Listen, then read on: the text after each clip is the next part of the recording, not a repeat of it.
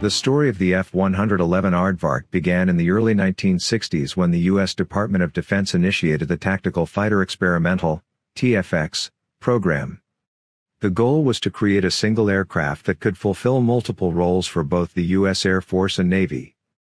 General Dynamics and Grumman were selected as partners to develop this ambitious aircraft. In 1962, their proposal won the Tactical Fighter Experimental, or TFX, contract, and the F-111 was born. The F-111 was a groundbreaking design that incorporated numerous innovative features. It was the first production aircraft to feature variable geometry wings, also known as swing wings. These wings could be adjusted in flight to optimize performance, allowing the F-111 to excel in both high-speed and low-speed missions. The F-111 was powered by two Pratt & Whitney TF-30 turbofan engines, which gave it impressive speed and range. It could reach a top speed of Mach 2.5 and had an unrefueled range of over 3,000 miles. The F-111 was designed to be versatile and adaptable, with several variants being developed for different mission profiles. The F-111A was the initial production variant, primarily used for tactical strike missions. It featured advanced avionics, terrain-following radar, and an innovative side-by-side cockpit layout for improved crew coordination. Over 150 F-111As were produced, with the first aircraft entering service in 1967. The F-111B was a short-lived variant intended for the U.S. Navy as a fleet defense interceptor. However, it was ultimately cancelled due to weight and performance issues. The F-111B's experience, though, was not in vain as it led to the development of the F-14 Tomcat, which would become a legendary aircraft in its own right.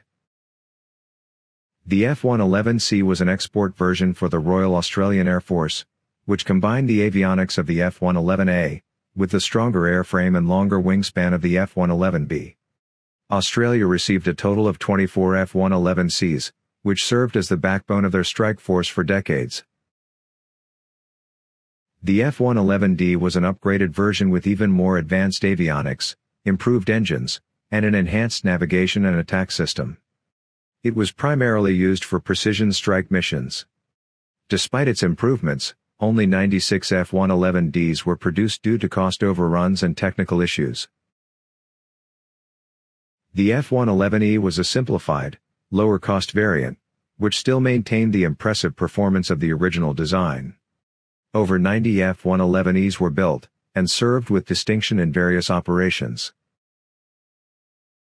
The F-111F was the final production variant, featuring upgraded engines, avionics, and the capability to carry more advanced munitions, such as laser-guided bombs. 106 F-111Fs were produced, with many of them participating in key combat missions in the 1980s and 1990s.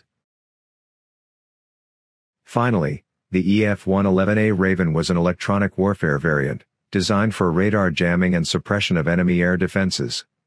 A total of 42 Ravens were converted from existing F-111As and served until the late 1990s. The F-111 Aardvark was a pioneer in several technological advancements that would later become standard in military aviation. The F-111's advanced avionics suite was a significant leap forward in aircraft technology.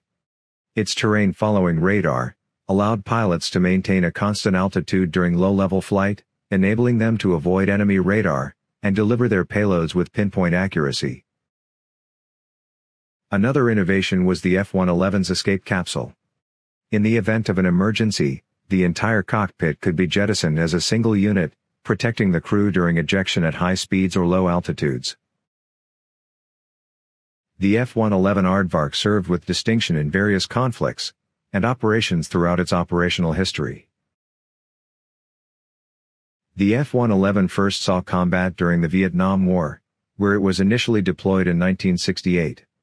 It quickly gained a reputation for its ability to deliver precision strikes in all weather conditions, thanks to its advanced terrain-following radar and low-level flight capabilities. Over the course of the war, F-111s flew more than 4,000 missions and achieved an impressive mission success rate of over 80%. In 1986, The F-111 played a key role in Operation El Dorado Canyon, the U.S. bombing raid against Libya. The F-111Fs of the 48th Tactical Fighter Wing demonstrated the aircraft's long-range strike capabilities, flying over 6,400 miles round-trip from England to Libya and back. The F-111 successfully attacked key Libyan military targets, proving their effectiveness in real-world combat scenarios. The F-111's most significant contribution came during Operation Desert Storm in 1991. The aircraft excelled in the conflict, delivering 80% of the laser-guided bombs dropped by the U.S. Air Force. It was also during this operation that the EF-111A Ravens showcased their capabilities in suppressing enemy air defenses, protecting coalition aircraft from radar-guided threats. In addition to its service with the U.S. Air Force, the F-111 also served with the Royal Australian Air Force from 1973 until 2010. The Australian F-111s participated in various regional exercises and deployments, demonstrating their long-range strike and reconnaissance capabilities. The F-111 was retired from the U.S. Air Force in 1996, with the EF-111A Raven following in 1998. As more advanced aircraft, like the F-15E Strike Eagle and F-16 Fighting Falcon, took over their roles, the F-111's time came to an end. The F-111 Aardvark may have been retired, but its legacy lives on in the innovations it brought to the field of military aviation.